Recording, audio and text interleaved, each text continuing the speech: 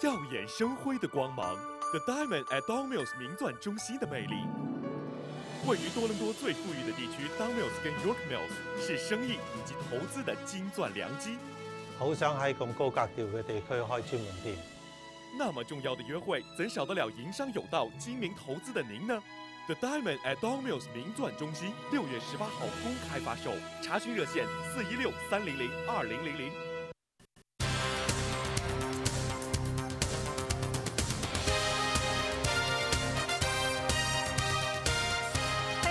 十二号的国语周末晚间新闻节目。接下来呢，我们一起来看一下中港台方面消息的详细内容。香港回归之后呢，首次由港澳办主任到香港考察。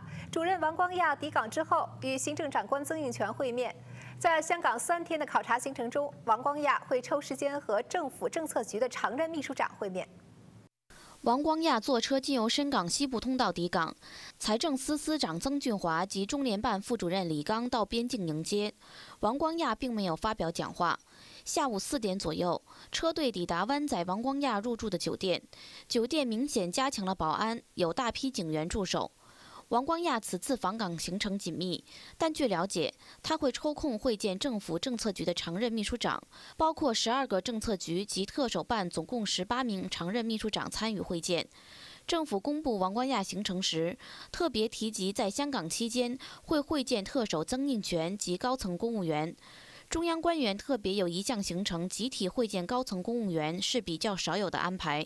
有学者就认为，王光亚此举显示中央都关注特区政府问责局长和常秘为首的高层公务员磨合的问题。学者又预计，王光亚会借机会向常秘了解他们对特首的期望、诉求等。哇哦 TV 王潇潇报道。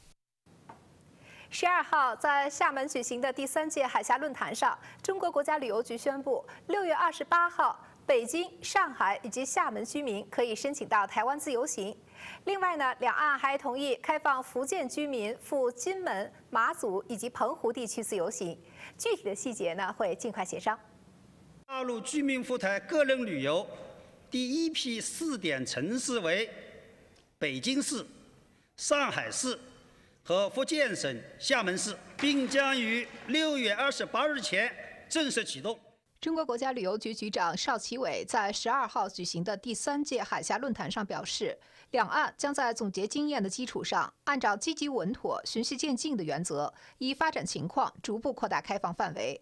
同时，两岸还会增加客运航班，每星期有五百五十八班，增幅达到五成以上。另外，大陆新增盐城、兰州、温州及黄山四个定期航点，台湾则新增台南航点。至于旅客关注的票价问题，双方商定将对北京、上海至台北航线的票价进行调整。为了迎接大陆居民赴台个人游，北京有旅行社已推出机票加酒店自由行套票。台湾旅游界也推出了不少的服务举措，各个县市都大动脑筋的设计线路，抢占商机。大陆居民赴台团队旅游自2008年7月18日开始以来，总体呈现快速增长、健康有序发展的良好势头。截至今年5月31日，大陆居民赴台旅游总人数累计达234万人次。那么，中国国家旅游局宣布，本月28号正式启动大陆游客赴台自由行。香港旅游发展局认为，开放初期规模不大，相信不会抢走内地个人游旅客。但会考虑与台湾合作推广一程多站。香港旅发局表示，去年内地到港的个人游旅客有近一千五百万人，而两岸开放自由行初期规模不大，相信不会抢走到港的内地旅客，但就会考虑同台湾合作推广一程多站。研究旅游的学者表示，内地开放赴港个人游八年以来，为香港带来巨大的经济收益，对台湾有启示作用。而香港要分占两岸旅游市场，首先是要增加航班，争取两岸自由行旅客过境香港。因為誒台灣同埋中國大陸方面嘅誒建立咗呢一個旅遊嘅關係之後咧，咁香港係有少少擔心嘅，就係話會唔會啲遊客咧係少咗嚟香港啊？咁我覺得喺呢方面咧，香港應該做好啲嘅就係從台灣建立起一個更加密切嘅旅遊嘅關係。他又認為，香港要開闢多些新的旅遊景點，才可以提升競爭力。Wow TV 王旭霄報道。中国国家主席胡锦涛十二号抵达阿斯塔纳，对哈萨克斯坦进行国事访问。胡锦涛将同哈萨克斯坦总统纳扎尔巴耶夫举行会谈，就提升中哈两国关系水平和其他共同关心的问题交换意见。两国元首还将签署并发表成果文件，双方有关部门和企业将签署一系列双边合作文件。在阿斯塔纳，胡锦涛还将出席十五日举行的上海合作组织成立十周年纪念峰会。会议将签署上合组织十周年阿斯塔纳宣言，发表新闻公报。哈萨克斯坦是胡锦涛此次欧亚之行的第一站，他还将对俄罗斯、乌克兰进行访问，并出席第十五届圣彼得堡国际经济论坛。w TV 王潇潇报道。广州增城星期五晚上发生了大规模的骚乱。民众不满当地的治安队殴打一名在街边摆卖的孕妇，与警方爆发了冲突，更触发了近万名民众上街聚集抗议。当局指，目前事件已经得到了控制。在增城市新塘镇大墩村，仍然有大批民众聚集，有民众破坏公共设施。在村中间的大马路，有过百名手持盾牌及警棍的防暴警察严密布防。当地消息指，参加骚乱的大部分都是在镇内打工的外省民工。有外省民工指，不时受到不公平对待。由村民组成的治安队经常与一些小贩冲突，所以也间接引起本地人与外省人的矛盾。网上消息指，触发这次冲突的原因是一名在街边卖衣服的四川籍孕妇被当地的治安队殴打，激起民众起哄。事件到星期六仍未平息，据报有一万人上街抗议。当局出动防暴警察驱散民众。当局今天召开记者会交代事件，表示那名孕妇在街边摆卖阻街，被治安队劝喻时，双方发生争执，令孕妇倒地。正当孕妇和丈夫上救护车时，被人阻挠，令围观的民众起哄，最后演变成警民冲突。公安当场拘捕二十五人，而孕妇的丈夫也现身记者会，表示夫妇二人和胎儿都平安。Wow TV 王秀晓报道。据中国中央气象台的监测显示，今天中国南方地区依旧多雨，江南、华南一带雨水较强，但和前两天相比已明显的减弱。预计长江中下游等地明天开始将再度迎来一次强降雨的过程。中国气象局今天上午首次启动了今年重大气象灾害三级应急响应。据中国气象局今早会商显示，明天起南方降雨又将再度加强，江汉南部、江南北部以及西南地区东部等地都将有大到暴雨，部分地区大暴雨。此次暴雨持续时间长、范围广、强度大，容易发生山洪、山体滑坡、泥石流等灾害。中国气象局今天上午首次启动了今年重大气象灾害三级应急响应。据中国国家防总统计，截至六月十一日十七时，入汛以来，全中国累计已有十三个省区和新疆生产建设兵团遭受洪涝灾害，受灾人口一千零三十七万人，因灾死亡九十八人，直接经济损失约八十六点九一亿元。第十四届上海国际电影节十一号晚举行，在被媒体誉为亚洲第一红毯的上海国际电影节红毯上，三百余位明星悉数亮相。特别是来自华语电影六十多个剧组的集体携手，更是把红毯当成了本次电影节开幕式的第二战场。第十四届上海国际电影节于十一日晚在上海大剧院拉开了帷幕。不过天空不作美，开幕式的红毯秀便遭遇大雨，这使得当晚走红毯的数百位明星，包括组委会的工作人员，甚至连到场的影迷都感到颇为辛苦。但尽管大雨瓢泼，当晚电影节的红地毯还是吸引了来自华语电影的六十多个剧组的集体亮相。演员们以剧组为单位，甚至有人不止一次走过红毯。可见电影人们把此次盛会都看作一个十分重要的展示平台。今年出席红地毯的明星和嘉宾人数超过三百人，创下了历届电影节的新高，不愧被称为亚洲第一红毯。再来关注台湾方面。马英九竞选连任办公室“台湾加油站”今天成立，正式吹响了2012年选战的号角。马英九强调，改革不能停顿，台湾也不能再走回头路。马英九竞选连任办公室“台湾加油站”十二日在台北正式宣布成立。成立记者会除了有赞美团演出充满年轻活力的台湾加油舞之外，马英九也身穿台湾加油的潮流 T 恤，和台湾赞生团、赞妹团、赞妈团一起高喊“台湾加油赞”。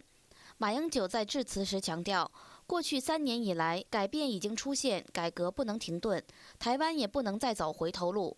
他说：“台湾已经走出闭锁、贪腐和斗争，他一定会照顾支持者，也不会忘记对两千三百万台湾民众的责任。”台湾加油站执行长由前国民党秘书长金伯聪担任。成立记者会，除了新北市市长朱立伦、台中市市长胡志强等纷纷到场助威之外，演艺圈、文艺界及体育界代表也到场力挺。Wow TV 王潇潇报道。中港台新闻之后呢，我们休息一下，进入广告时段。广告之后，我们还会给您带来今天的趣闻。我们稍后再见。迷人的风景、悠久的历史、全英文的讲解，让本土生长的华人更容易了解到中国的秀美山川和风土人情。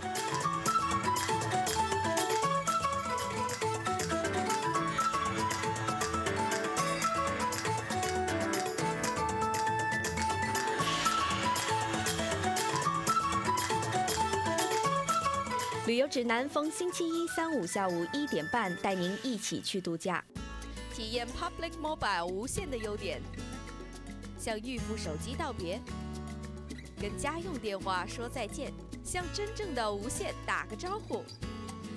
全省无线认奖计划，月费只要十五元。无线收发邮件，月费只要五元。Public Mobile。划一收费，无合约，无额外收费，真正无限认奖。闪亮登场，全新 Chevrolet Cruze，欧洲记者评为二零一零年最佳汽车，也是印度的年度最佳汽车。它还是世界巡回锦标赛英国、意大利、德国和巴西各站的冠军。世界验证了这部轻型汽车的不平凡故事。全新 Chevrolet Cruze，同级车系中最省油，十个标准安全气囊。加拿大最佳保用服务，超越一般驾驶。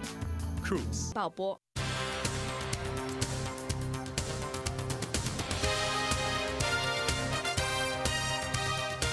欢迎回来，今天是二零一一年六月十一号，农历五月十一。您正在收看的是国语周末晚间新闻节目。接下来呢，又到了我们今天的趣闻时段了。今天的趣闻呢，我们会给您带来两条吉尼斯纪录。菲律宾一名的男子身高不足六十厘米，被列入吉尼斯纪录，成为世界上最矮的男子。量还是站着量，Jerry 都只有二十三寸半，也就是只有五十九点九厘米高，身形与一个婴儿没有区别。这虽然令他无法过正常人的生活，但却令他成为世界纪录中长得最矮的男子。对他来说，也是一件值得庆祝的事情。而且今天是他十八岁的生日，真是双喜临门，难怪他如此高兴。上千人的合唱呢，您也许见过，但近千人吹萨克斯的场面，你可能就很少看到了。最近呢，在澳大利亚悉尼，超过九百人一同吹萨克斯，创下了一项新的吉尼斯纪录。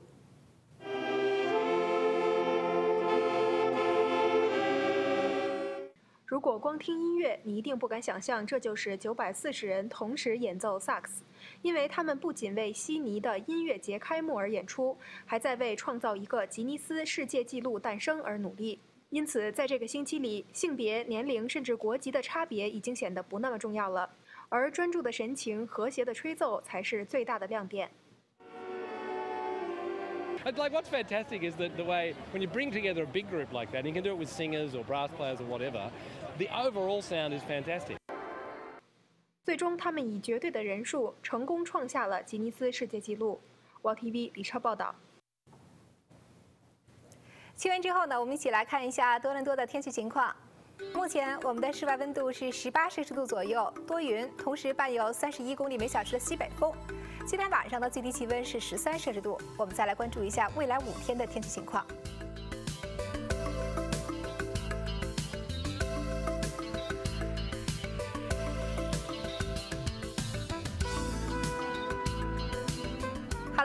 众，今天的新闻节目呢到这里就告一段落了。如果您有什么意见和建议，请您随时发送 email 到 news at one one 到 TV。感谢您的收看，祝您晚安，我们下次节目再见。